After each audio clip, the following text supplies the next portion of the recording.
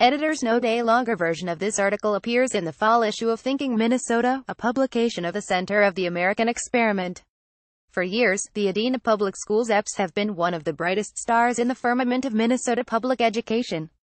Parents who moved to the affluent Twin Cities suburb gladly paid a hefty premium for a house because it meant their kids could attend the district's top-notch schools. But today, test scores are sinking in Edina's fabled schools. One in five Edina high school students can't read at grade level and one in three can't do grade level math. These test results dropped EHS's ranking among Minnesota high schools from 5th to 29th in reading proficiency, and from 10th to 40th in math proficiency between 2014 and 2017. Across the district, about 30% of kids are not on track for success in reading, and the same is true for math.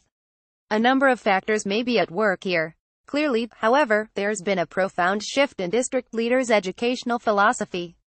In place of academic excellence for all, the district's primary mission is now to ensure that students think correctly on social and political issues, most importantly, on race and white privilege. District leaders enshrined this new mission in EPS's All for All strategic plan, adopted in 2013. The plan mandates that, going forward, the EPS must view all teaching and learning experiences through the lens of racial equity. If equity meant treating kids equally, all thinking Minnesotans would support it.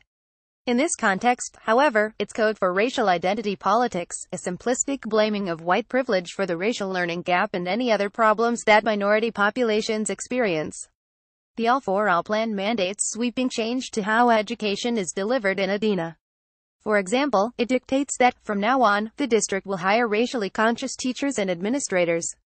It also declares that students must acquire an awareness of their own cultural identity and value racial, cultural and ethnic diversities. In education speak, this means that Edina children will now be instructed that their personal, cultural identity is irrevocably tied to their skin color. This directly rejects the colorblind vision that the Rev. Martin Luther King Jr. pioneered, and that the vast majority of Americans share. Highlands Elementary School is a prime example of the All for All plan in action. The school is pervaded by an obsession with race, in classrooms, at parent meetings, and on its Wonder blog and social media. Katie Mahoney, Highlands racially conscious principal, was hired in 2016. This fall, she announced that the school's challenges for 201,718 are to teach children how to embrace ancestry, genetic code and melanin, and to how to be changemakers. Work on the first goal began last year with the Melanin Project.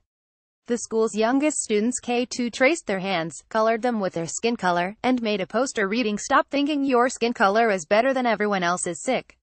Everyone is special educators have no business prompting immature and impressionable children to classify themselves and others by skin color. But Mahoney's political agenda seems much broader. For example, on the school's Wonder blog, she has promoted an ABC book for young children entitled A is for Activist. The book features texts like the following Are you an activist? C is for Creative counter to corporate vultures, F is for feminist, T is for trans, and X is for Malcolm X. Cornelia Elementary School also has a racially conscious principal, Lisa Masika, hired in 2014. Masika began her tenure by obtaining a race-oriented social justice curriculum for the school with standards like unpacking identity and unpacking action. She floods the school's K-5 teachers with equity-related resources, like a video featuring a black slam poet denouncing police brutality. Unfortunately, from 201,517, the reading proficiency of Cornelia's students who are black, Hispanic, and of two or more races dropped from 58% to 34% on the state's MCAAI tests. At Edina High School, racial identity politics are the leading edge of an agenda that includes an angry, malabashing feminism and left-wing calls to activism in classrooms, school publications and school assemblies. On the Rate My Professor website, one disenchanted student said of the school's required 10th grade English course this class should be renamed. Why white males are bad, and how oppressive they are. EHS students describe a culture of intimidation at the school for students with non-conforming views. The lockstep partisanship they complain of was on display after the 2016 elections, when 80 staff members all but a handful of whom were teachers co-signed a partisan manifesto in the student newspaper bashing President-elect Donald Trump as a racist and aligning themselves with the Democratic Party and Hillary Clinton. Many of you students have made clear that right now, you don't feel physically safe, the article read.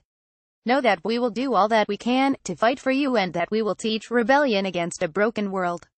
EHS policy prohibits partisan bias by teachers, but the teacher charged with keeping it out of the school paper herself signed the editorial. On August 24, 2017, Peter Kirsanow, a member of the U.S. Commission on Civil Rights, wrote to the chair of the Edina School Board about this and other recent incidents at Edina High School. He admonished the board about teachers' discrimination against and bullying of students with different political beliefs, and reminded them that federal civil rights law prohibits such discrimination in public schools. In a response dated September 21, EPS Superintendent John Schultz essentially acknowledged that the high school has failed to meet its First Amendment obligations. Since receipt of Kirsanow's letter, he wrote, the district has invited a team of attorneys to conduct training on employee and student free speech rights and limitations, which was attended by administrators and all high school staff. Today, Edina students are being deprived of their right to a solid education by teachers and administrators who substitute indoctrination and intimidation for effective instruction. It's time for Edina's citizens to demand that changes. Katherine Kersten is a senior policy fellow at the Center of the American Experiment. She is at kakirston at gmail.com.